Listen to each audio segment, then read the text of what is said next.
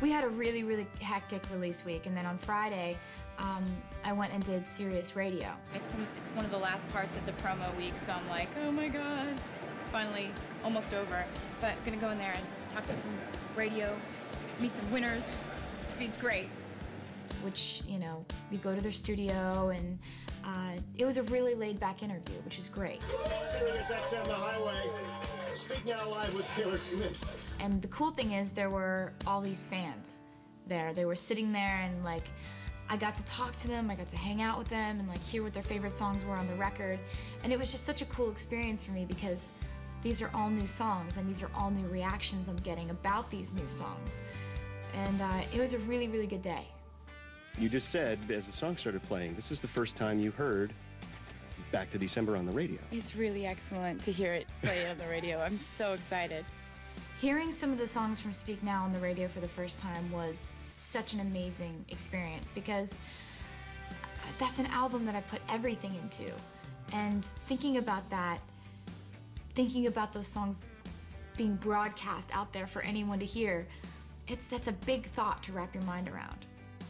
At some point there was an impromptu dance party that began and I uh, I think it was it started with the photographer who decided that he was like gonna dance to the songs as they were playing on the radio and then I decided that he looked like he was having fun so I started dancing with him and then some of the fans decided they wanted to dance too. And then it became like me and then the little girls dancing. And it was just it was just one of the coolest parts of the week for me because it was like that's one of the reasons why you make music so people can dance to it.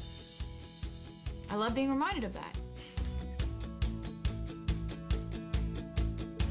We had one final surprise for the fans on release week, and that was um, I wanted to see what would happen if I tweeted that we would be somewhere and then show up and see who else showed up. So we have something pretty sneaky up our sleeves. I'm going to do a surprise performance on Hollywood Boulevard, and right now I'm going to tweet it to my fans an hour ahead of time. So I did. I said if anybody's going to be on Hollywood and Highland in an hour, my band and I might see you. And I hope that people show up. We're in California now. We're at Hollywood and Highland. Taylor's just tweeted that she's going to be performing here. So we've already got our first batch of fans showing up, so the frenzy is building. Should be pretty cool. We're pretty psyched. A lot of people are showing up. Helicopters. There's like 50 cop cars here. Everyone's just, there's a good vibe in the air.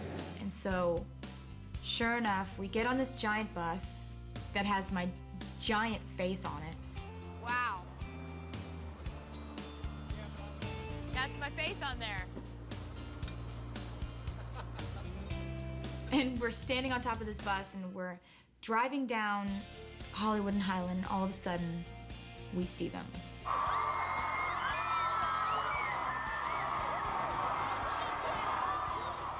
I thought that maybe maybe 30 people would end up showing up. And it was it was uh it was a lot more than 30, which blew my mind.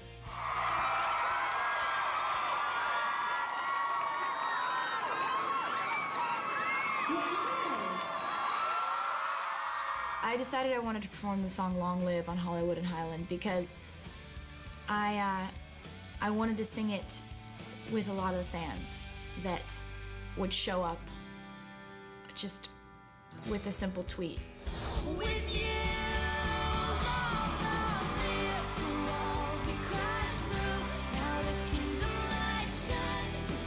I initially wrote the song um, backstage in, in the changing room every single time I'd be like ready to go out for the encore on the Fearless tour. I had this melody in my head, Long live, na, na, na, na," and it like it, it, it kept coming back to me at the same moment every single night on tour.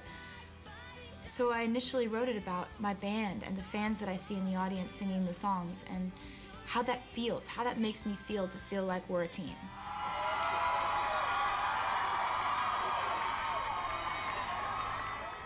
There was uh, a major traffic jam caused by our little event, our little, our little incident on Hollywood and Highland.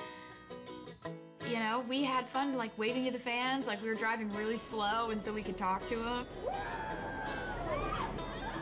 The craziness of release week is something that I'll never forget. You know, the feeling of I'm gonna be in New York today, LA tomorrow, you know, then we're gonna be all over the world just jet setting around.